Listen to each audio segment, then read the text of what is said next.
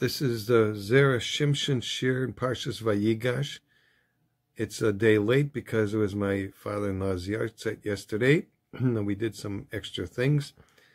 And uh, his name was, this shir will be in Eloi Nishmas of Moshe Wolf ben Zalman Halevi. I never got to meet him. I didn't have the schos, but um, he was a very special person. He died in 1968, and we didn't get married till 1974. so this week's shir begins with the pasuk in Breshis Memvav Kavtes Vayera Ela Vayipoil Al Savarov Vayevk Al Savarov Ayud. And Yosef fell on his, he saw him, and he fell on his uh, neck, and he cried, and he fell on his neck. Oh, and furthermore.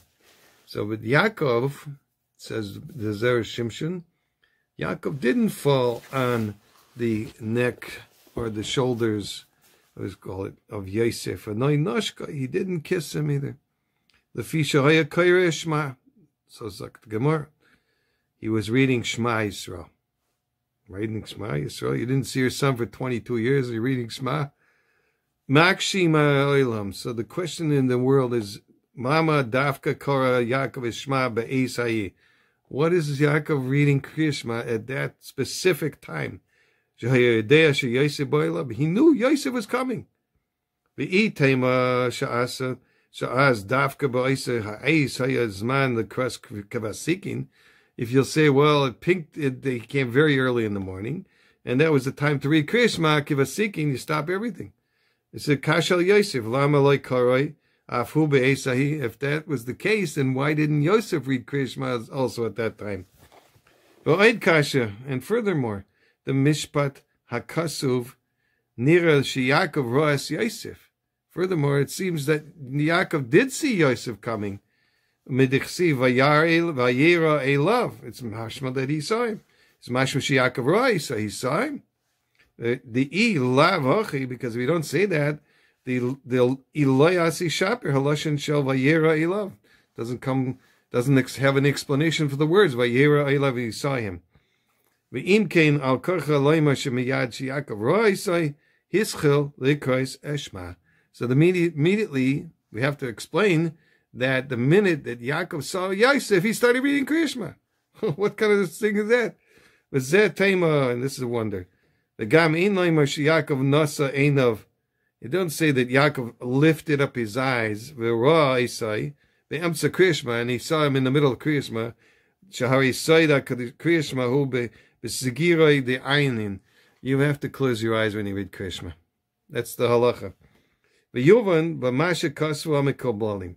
Now this is a, a, a part in the in the Zohar and Parshas Pinchas, Daf Reish Lamed Vav Omid Beis, and it's brought down there. it says Ashkach. I'll read the whole thing so you get it. It's a little complicated. Otherwise, I'll read it in Hebrew first and then translate it. It's uh, Ashkacha Omer Rabbi Shimon Ashkachna B'Sifra de Rav Amnuna Sab. We find in the Sefer of Rav Amnuna, the elder. Kol misha miyachid yichud ze b'chol yom. Everybody who is miyachid kriyashma every day. Hainu shekayre kriyashma bekavana karoi. That has the correct intentions in saying kriyashma. Simcha mizumenis loy milamaila. He has special simcha in the heaven for him. Like it says, miside Eloha Aisyais, like it says in these letters that are coming in Kriyashma. We'll see in a second. Daino, that is Shin Mem Min Shema, the first two letters of the Shema, Shin and Mem, Ze Mitchilas Pasuk. And the Aleph Ches Mihai Sitra, the other way, the other side is the Aleph and the Ches from the word Echad. Mitzad Ze V'Seifa Pasuk. This is how you combine these letters. He combines them reverse, you know, in re- retroactively. Dahainu maschil mi aleph the echad shebeseifa pasuk. Start with the aleph at the end of the pasuk. V'achakach oishin shel shma betchilas pasuk, and then the shin at the beginning of the pasuk. So so far he has aleph and shin. Aval stay oises mem ches misayim b'yosher. The the the mem and the ches from Shema and Echad he continues in the straight form. Dainu tchila hamem shel Shema b'tchila sapasuk and achakach ches shel Echad. So what do you come up with? The simon is Aleph Shin Mem Ches Esmach. The Hayotze Mehamilas Esmach. The Ksiv Kleimar, it means Shezoicha Lemeshe Kosov Onoichi Esmach Bahavaya Dainu Bahashem Mamish. So he becomes happy. There, there's a certain joy and a jubilation of him saying Kriyashma Mamish. So that's what he's bringing down here. So he's, says, I, I, I quoted it from the Zohar directly.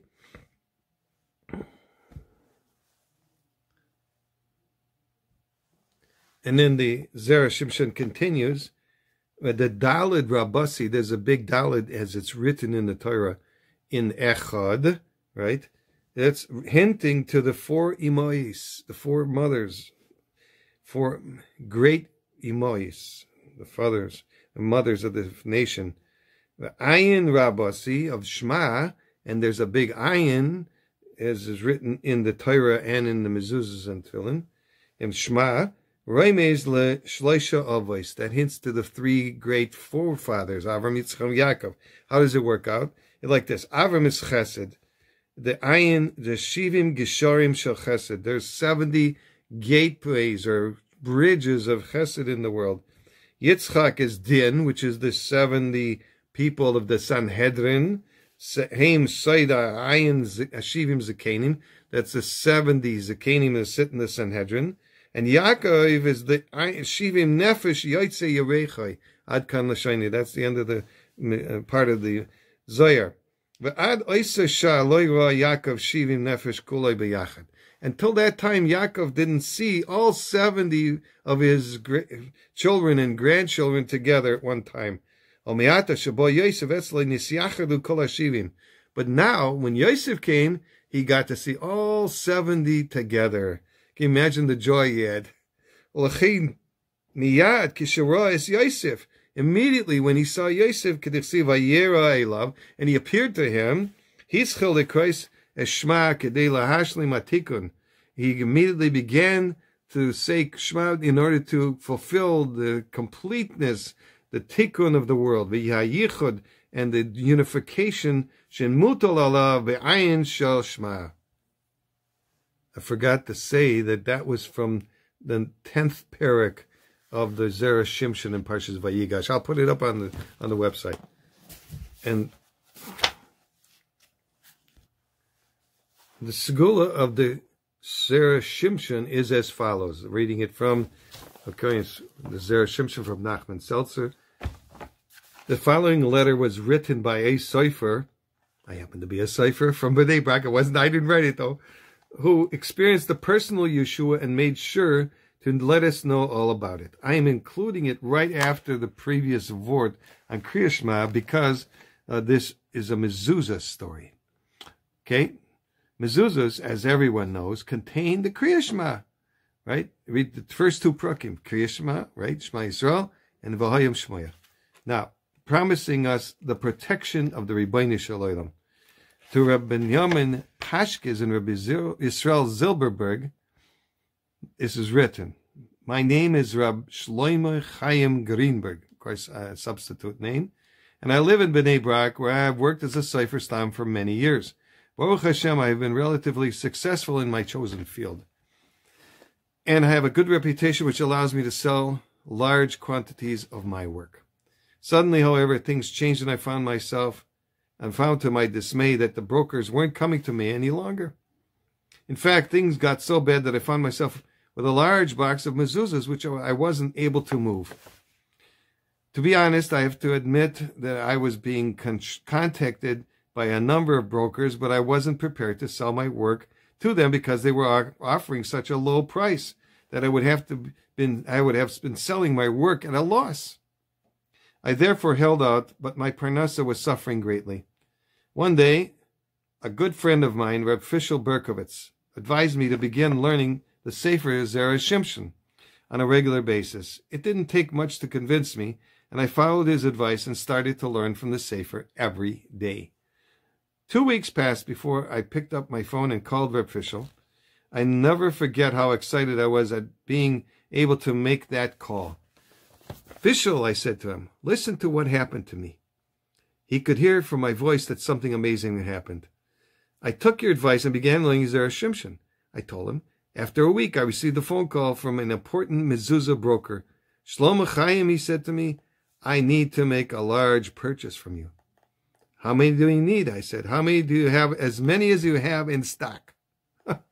Knowing how things worked and that big brokers seldom want, wanted to pay a fair price, I decided not even to get into negotiations with him. I don't have what you need. Shlomo, he replied, don't be like that.